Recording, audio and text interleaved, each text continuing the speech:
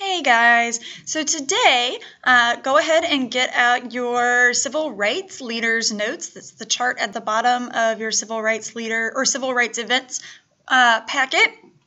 So, we're going to be talking through some of the major leaders of the civil rights movement. Some names might be very familiar to you, some names might not be. Uh, but what's really important to kind of understand about these people as we're talking through them is that there are a lot of different philosophies of how African Americans in our country were going to be fighting for civil rights. Uh, and all of these men uh, and some women went through it very differently. And so, today you're going to kind of get to see a good overview of all of that and kind of how that happened.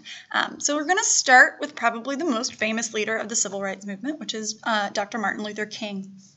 So, uh, Dr. King, as you may know, was a pastor uh, named after Martin Luther, who was the Protestant Reformation leader from the Middle Ages, the Renaissance era.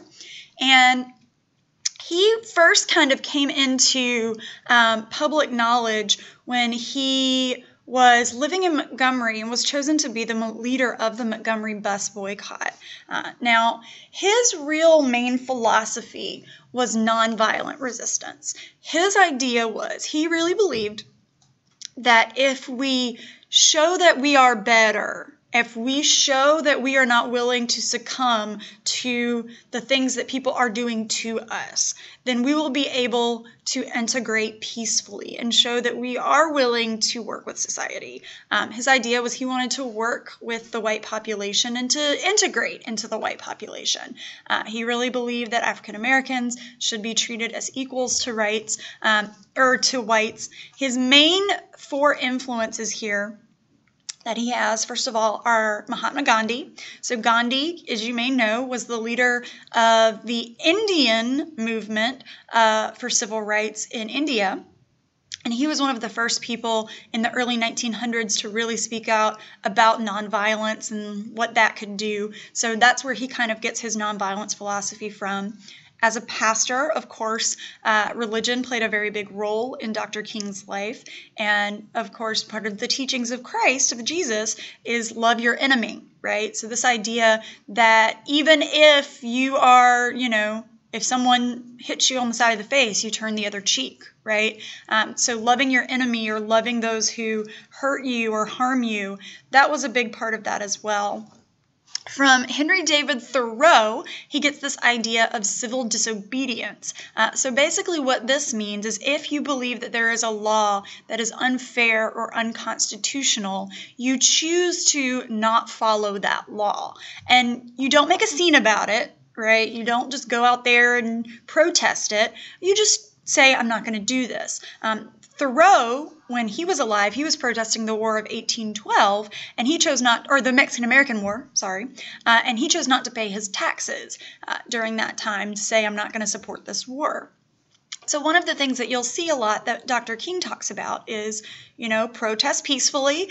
They're probably going to arrest you. If they do, go to jail. And when they let you out, do it all over again. Um, so, you're saying that, you know, jail is not going to hold me down, right?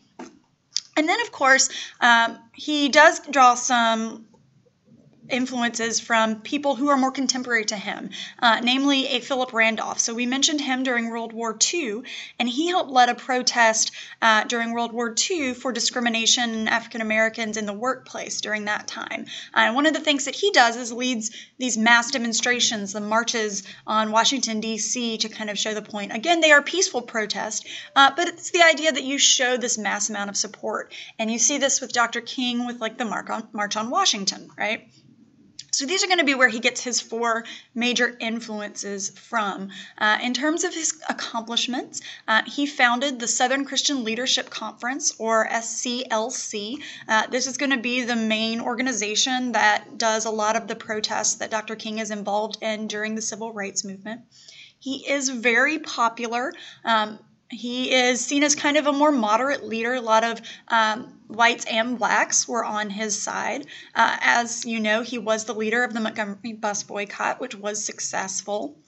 When he was arrested in Birmingham for his protest, so this is that civil disobedience idea, he writes this letter called Letter from a Birmingham Jail. And this letter is one of the most important documents that we have from him, uh, where he talks about kind of why he did what he did. He was actually writing to other um, black pastors in the South who said, Well, you know, if we're going to get arrested, we need to stop doing this. And he was like, Look, like, no, you don't. You need to keep doing this because what we're fighting for is very important. He does lead the March on Washington. Um, that is where he will give his I Have a Dream speech.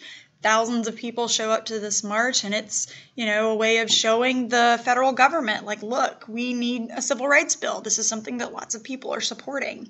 And unfortunately, as we know, uh, Dr. King was assassinated in Tennessee in 1968. Uh, what you may not know is that he was actually supposed to be giving a speech at Winston-Salem in Wake For- at Wake Forest University at that time. Uh, however, when um, the garbage workers in Tennessee went on strike, he decided to go there instead in order to support their strike. Uh, he is shot when he is on the porch of his hotel. Uh, he was with several of his kind of main number one guys, and uh, it was a huge hit for the civil rights movement uh, and definitely caused a lot of mass mourning throughout the country, especially for people who really supported him, uh, and really had a major effect on the movement and what was going to come from that. So I just want to show you a couple photographs here. Um, so over here you can see this is a photograph of Dr. King in Birmingham. Um, this was his mugshot for when he is arrested. Um, let me just move this down here a little bit. Uh, you can see this top picture, you know, he is a family man. He does have children. Um, and something that I think is important to understand is there's always this scandal you hear about where, like, oh, well, didn't he have an affair? Yeah, he did. He was human. He wasn't perfect. Um, we have to remember that these leaders, you know, they are human. But does the fact that he did that take away from his work in civil rights? Absolutely not.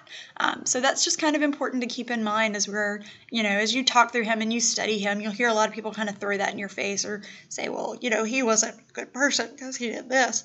Well, he still fought for civil rights and he still said some really great things. Um, this picture down here at the bottom right that is from the march on washington. I love this photograph just because um, he just looks so happy in this picture and you just see the thousands of people who are at this march on washington. And then the photograph at the top is actually from the hotel where he is assassinated. So this was taken just before he is killed. Uh, and like I said, the assassination of Dr. King is going to lead to some really major um, it's a really major hit for the civil rights movement, uh, but it does kind of allow for some changes in the civil rights movement as well. The next person that we have, um, who again you may have heard of for, is Malcolm X. So Malcolm X is often thought about as a lot more radical, the opposite of Dr. King.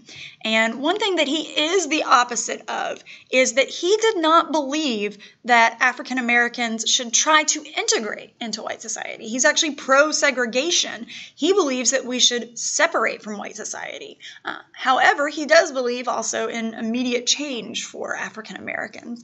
And if that change had to come in the form of violence, that was something he was okay with. Uh, now, he did try to mostly say it's self defense. If they hit me, I'm not turning the other cheek, I'm hitting back, right? And one of the things that you'll really read about him, and, and part of this is from his religion, is he really just blames white white population for what's happening in the country at the time. Uh, and, you know, you hear a lot of his speeches, and a lot of it is pretty intense stuff. He refers to the white devil quite a lot. And like I said, a lot of this comes from his religious beliefs. So in 1964, he joined a religion called the Nation of Islam. You'll also hear it called the Black Muslims.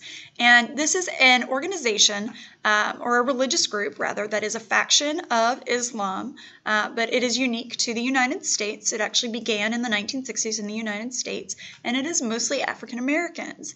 And one of the things that they really talk about um, is that you know, we should try to form this separate black society. Uh, and he becomes kind of the leader of the separatist group because of that.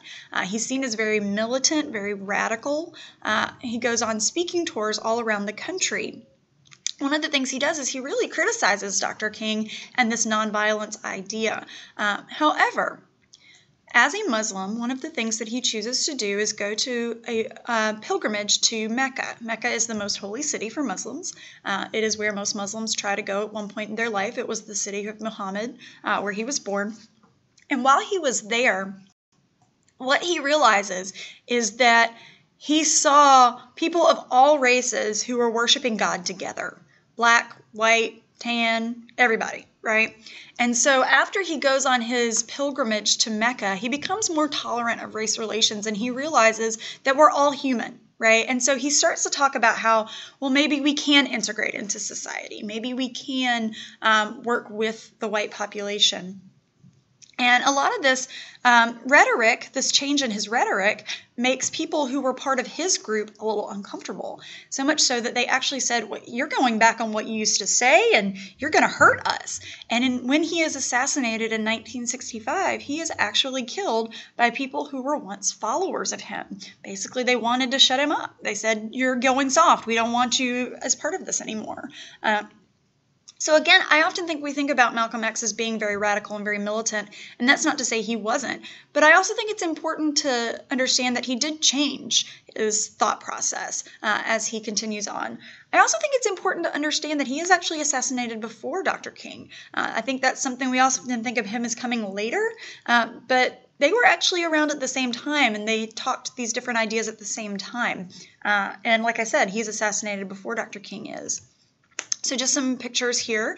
Uh, so uh, these photographs at the top are just a couple pictures of him um, as part of his speaking tour. And I think that this picture over here, especially, is often how he is depicted. Uh, we don't really think of the softer side, so to speak, of uh, Malcolm X.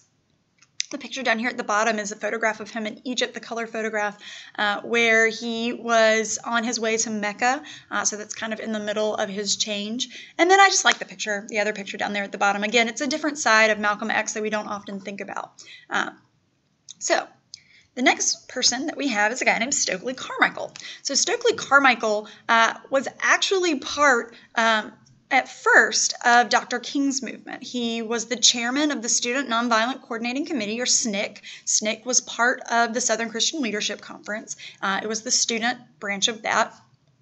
And he starts as being this nonviolent protester.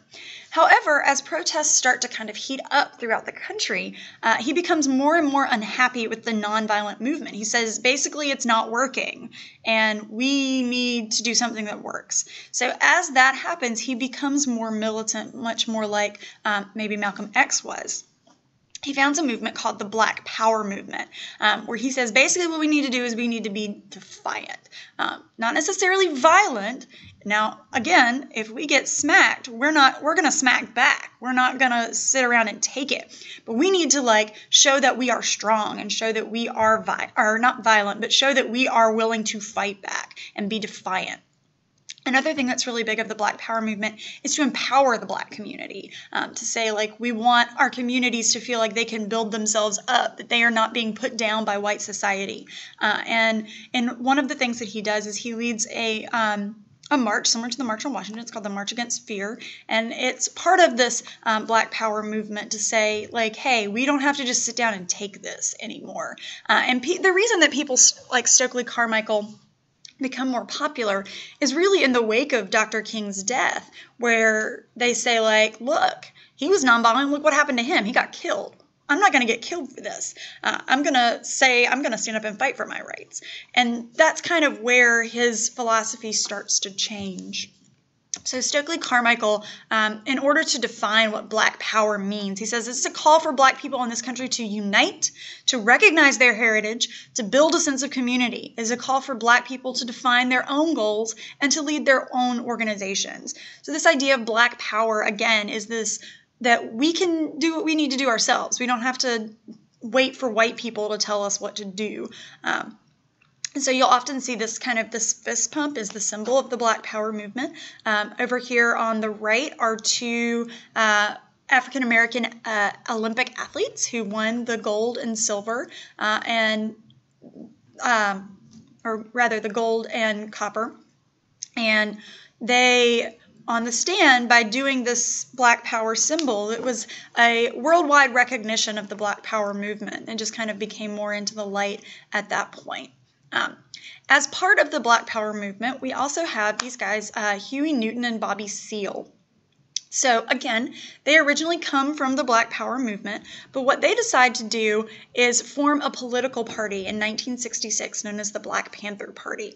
So this is a political party that is formed in order to kind of fight against some of the police brutality that was going on in a lot of the African American communities, especially in the lower income communities. Uh, so, again, one of the things that they really talk about is self defense. Black power was a big part of this, um, using violence if necessary using armed revolt if we have to. Um, violence played a lot more of a role in the Black Panther Party, um, so much so that actually Richard Nixon had the Black Panther Party on what he called his enemies list. Uh, we'll talk more about what that means later. Uh, they were anti war in Vietnam. Basically, they said, like, hey, black people are being sent to this war to die for a country that won't recognize them, so why should we support them? Um, but one of the other things that the Black Panther Party did, and this is something that I think, again, in order to kind of demonize the Black Panther Party, we kind of forget about this, is they were also really um, wanted to improve the communities that they were in. Um, especially the economics of the community. So they helped provide jobs and housing, education. Um, you know, they had daycares and all kinds of things in order to help people in those communities that they were part of. Um, often when you see the Black Panther Party, you they have kind of like a uniform that they recognize with. They're, they wear all black. They kind of have a beret. Um, but I I do think it's important to point out that this. Of all of these organizations, this is definitely the most militant and even the one that is the most violent. Um, they kind of have two sides to that coin here. Uh, so let's look at just some photographs here. So this is the kind of costume that I was talking about. Um, these are Newton and Seale down here. Uh, up in this top corner, you can see the black, uh, it says Black Community Survival Conference Serve the People, Body, and Soul. So this is just a conference um, to try and help a specific neighborhood. And you can see them doing uh, the Black Power uh, symbol here. Down at the bottom, this is a uh, like a daycare or an education center uh, for the African Americans in the community. So I hope that this just kind of gives you some good pictures of kind of what's going on and um, who these leaders are of the civil rights movement. And I think it's important to understand that there are different factions of the civil rights movement. Uh, so we're going to be able to get a little bit more in depth into some of the, the philosophies of these people. Uh, so I will see you soon.